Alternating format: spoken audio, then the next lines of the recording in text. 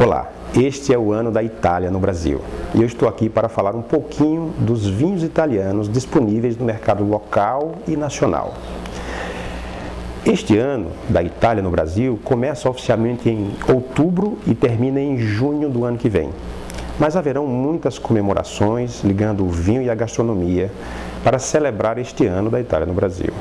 No dia 8 de abril, por exemplo, nós teremos um grande evento aqui em Natal que mostrará um bom painel de vinhos italianos, será uma mostra de vinhos, onde nós teremos também antepastos italianos e toda uma temática envolvendo esse evento.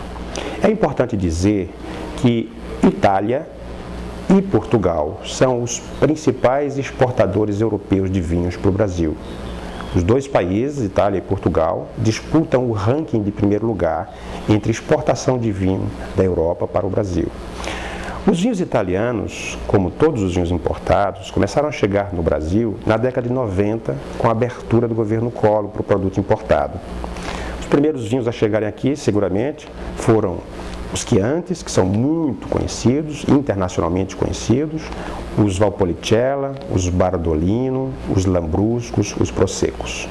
Mas hoje, algumas décadas depois, nós dispomos de uma oferta muito grande de vinhos italianos no mercado local e maior ainda nos grandes centros do Brasil. É importante dizer que Natal ainda é muito limitado em termos de ofertas de vinho italiano. Mas alguns grandes centros do Brasil têm uma variedade incrível de vinhos italianos. Os, os, grandes e clássicos vinhos italianos, como os Barolos do Piemonte, os Brunellos de Montaltino, da Toscana e outros vinhos importantes, você encontra hoje no mercado local, nas lojas especializadas e às vezes até em alguns supermercados. Mas existem vários outros vinhos que a Itália produz.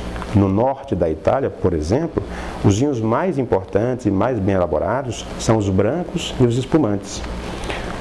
O centro da Itália tem vinhos importantíssimos e o sul da Itália, a região da Sicília, por exemplo, faz vinhos também muito incríveis.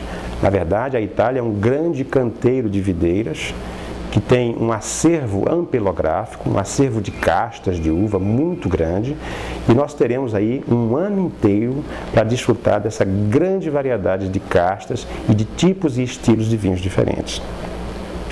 O meu desejo é que você aproveite bem este ano da Itália no Brasil, tomando bons vinhos italianos e se agraciando com o que a Itália produz de melhor em termos de gastronomia também.